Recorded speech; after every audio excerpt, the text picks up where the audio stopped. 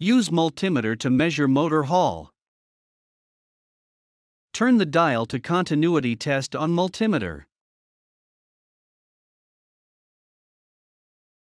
Connect the red test lead to positive wire of Hall, and use black test lead to measure the resistance of Hall ABC wires.